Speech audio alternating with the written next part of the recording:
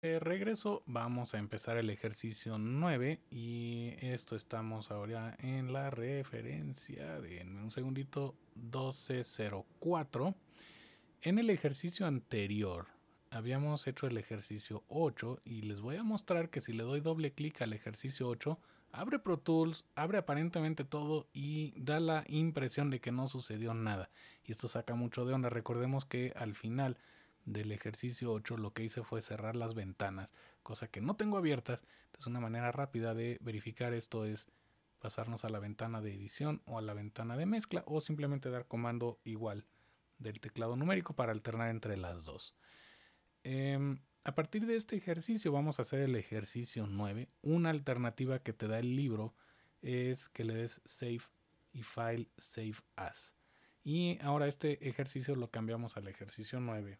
Pero les quiero mostrar que si hacemos esto, y si me voy al, eh, al escritorio, tengo dentro de la carpeta del ejercicio 8 también tengo el 9. Y esto puede llegar a confundir un poco. Entonces voy a hacer un mini hack aquí. Y este ejercicio 9 le voy a dar File, Save Copy In. Le me llevo todos los audios, todo, todo el contenido y lo voy a mandar al escritorio, nada más que ahora se va a llamar ejercicio 9 y entonces así voy a tener una carpeta nueva, completamente nueva con el ejercicio. Lo que no hay que confundir aquí es que el ejercicio que tengo abierto es el 9 que está dentro de la carpeta del 8, por lo tanto voy a cerrar esta sesión, si voy a guardarla y ahora voy a abrir la, el ejercicio 9. Alternativa para todo esto podríamos abrir nuestros ejercicios del 101 irnos a la carpeta de los ejercicios completos, abrir el 8, renombrarlo como 9, tenerlo en el escritorio en algún otro lugar y trabajar el ejercicio 9. Entonces, bueno, ahora sí voy a abrir el ejercicio 9 correcto y vamos a ver qué nos piden hacer aquí. De lo primero que nos solicitan es cambiar el valor del grid. Y el valor del grid lo vamos a poner en un cuarto. Aquí arriba tenemos el grid y dice grid de un cuarto. Aquí podemos poner el grid, es decir, la rejilla en cualquiera de estas notas o pueden ser minutos o segundos, como tú quieras. Aquí le puedes cambiar la referencia de tiempo. Y en este caso vamos a ponerlo en notas de un cuarto. ¿Para qué? Para que estas líneas azules que vemos aquí arriba, cada una de estas líneas nos dice que es una nota de un cuarto. Y si estamos en el modo grid, como en este caso, cada vez que tú te muevas con tu mouse, vas a irte, o con el selector, vas a hacer selecciones de una nota de un cuarto. Entonces esto es muy práctico para siempre atinar el lugar al que vamos. Miren esto, en la figura 935 de la guía de estudios te ponen que el grid es igual que el notch. Aquí yo a propósito lo tengo diferente para que vean que no necesariamente tiene que ser igual. ¿Ok? Bien. Vamos a editar el voiceover.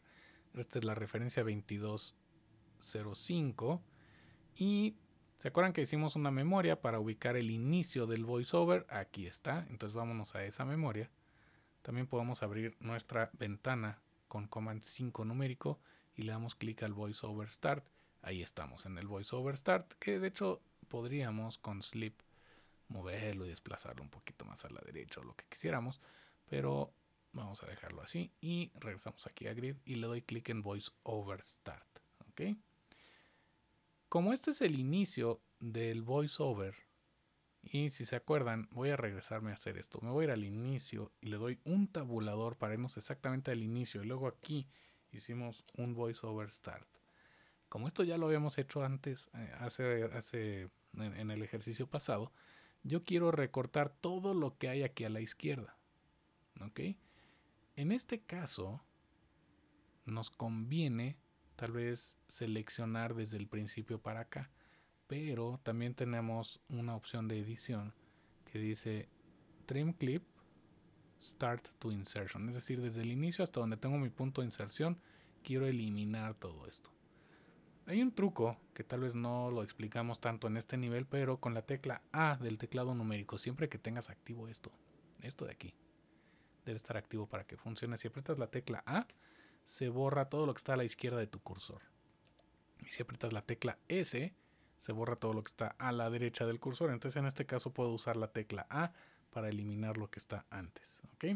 Nos recomiendan cambiarnos al modo Sleep en la figura 936 y con el grabber, con la mano, con el grabber, nos dice que seleccionemos el clip que se llama el único clip que está en el Fire Effects. Entonces aquí tengo el Fire Effects.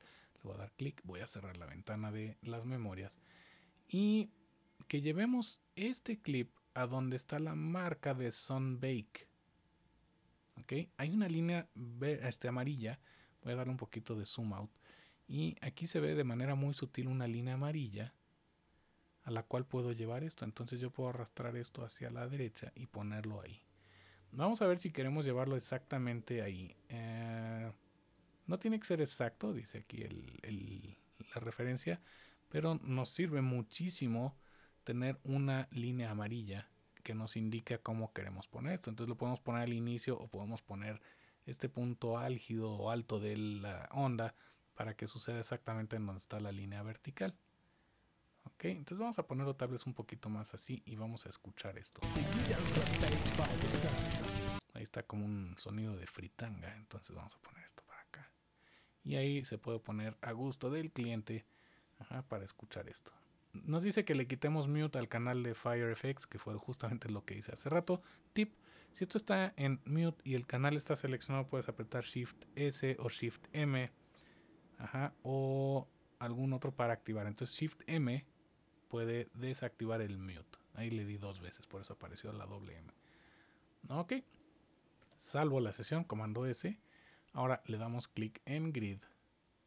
Le dimos clip, eh, slip para poder mover esto libremente. Si estás en grid y quisieras mover esto libremente como si estuvieras en slip, ahí te va un tip. Mientras estás en grid puedes apretar command y mover esto libremente ya no está restringido por el movimiento del grid, como en este caso ahorita solté el command y ahorita estoy apretando command y ahí se nota. Déjenme cambiar de nuevo a las preferencias y el caster lo voy a poner en este modelo de aquí para que se vea un poquito más decente.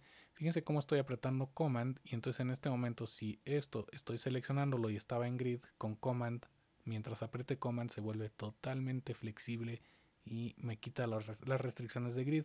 Eso podrías usarlo también en vez de, eh, en vez de pasar al modo sleep. Recordemos que F1, F2, F3 y F4 nos permite cambiarnos al modo grid. Déjenme ver si en mis preferencias de aquí del caster puedo mostrar todos los keystrokes. Ahí está F1, F2, F3 y F4. Entonces, si quiero pasarme al modo grid, podría poner F4. Muy bien, vámonos a la figura 937. Nos piden cambiarnos al selector en modo grid. ¿ok? Y con el selector nos dicen que hagamos una selección en la batería, en drums, desde el compás 16 hasta el 18. Ahí tenemos varias opciones. Podríamos cambiarnos de minutos y segundos a compases y luego simplemente seleccionar me puedo ir un poco más a la derecha, aquí arriba veo que está el compás 16 y si estoy en grid, en cuartos, yo puedo seleccionar del 16 al 18. También podríamos cambiar el grid a compases enteros y es más fácil seleccionar todos los compases. Pero aquí lo voy a dejar en un cuarto. Y otra manera muy exacta de poner esto en un lugar específico es irnos a los numeritos del start. Es decir, quiero ir desde el 16, tabulador por ejemplo, o enter, perdón, 16, enter y luego me voy aquí quiero que termine en el 18 enter y con esto hago una selección de dos compases también podríamos ir solo al 16 y luego aquí poner dos compases y también me selecciona estos dos compases en el canal de la batería los colores varían un poco entre la figura esta figura 938 y lo que tengo acá pero no importa esta es la duración de dos compases mientras hacemos esto mmm, queremos extender la selección también al canal del bajo y de la guitarra y de wave, es decir, hacer esta selección hacia abajo. ¿Ok? Tal vez porque vamos a recortar algo. Nos recomiendan aquí pasarnos al modo shuffle. ¿Ok? Entonces, para, bueno, antes de hacer esto del modo shuffle, voy a darle shift click aquí abajo, shift click, shift click. Entonces estoy seleccionando los mismos dos compases, pero a lo largo de otros canales. Voy a volver a hacerlo del 16 al 18. Otra manera de lograr lo mismo es darle command clic al canal. Y como tenemos activo el botón de vincular el track y la selección, cuando tú le das clic al encabezado de los tracks también se selecciona esto. O una tercera manera sería seleccionar del 16 al 18 y luego shift clic en los canales para seleccionar todo un rango. Muy bien, después de esto nos piden pasarnos al modo shuffle. ¿Para qué? Porque seguramente vamos a querer borrar esto. Déjenme hacer un pequeño zoom out. Vamos a borrar esto y como estamos en modo shuffle, fíjate muy bien lo que va a pasar. Se eliminó todo esto y todo lo que estaba a la derecha se recorrió. Voy a volver a hacerlo. Comando Z undo y ahora voy a darle delete, borrar. Y entonces todos los clips que estaban del lado derecho se hace un corte, se recorre todo a la izquierda porque así es como funciona el modo shuffle. regresamos al modo grid y en el modo grid también puedo darle F4 si quisiera. Perdón, este es F3, F4 para regresarnos al modo grid. Muy bien, entonces usamos shuffle para quitar eh, parte del audio. Em, después de esto le damos doble clic al zoomer. ¿Para qué? Para volver a regresar la vista y que se extienda horizontalmente y que tengamos todo a la vista. Activamos el selector está, selector activado. Y eh, ahí llegamos a la figura 939 de la referencia 2206. Estoy pasando ahorita a la referencia 2207. 22, 1207. Estoy dando referencias malas. Todos es 1207, 1206, perdón. Ando aquí medio confundido. Pero bueno, ustedes agarrarán la onda, ¿no? Este, el ejercicio, por cierto, voy a regresar. El ejercicio 8 no, 9, perdón, empieza en la referencia 1204 y pues 1205, 1206, etcétera. Entonces, bueno, son con referencias de 1206, 1207. Ahorita estoy en la 1207 y como en todos los ejercicios nos va a pedir limpiar un poquito, le doy return para irnos al inicio. Tal vez puedo poner los canales de tamaño correcto, dejar solo los canales seleccionados que yo quiero o ninguno de ellos. Tal vez incluso podemos poner esto de tamaño pequeño y le dimos doble clic a la lupa para acomodar todo de manera horizontal.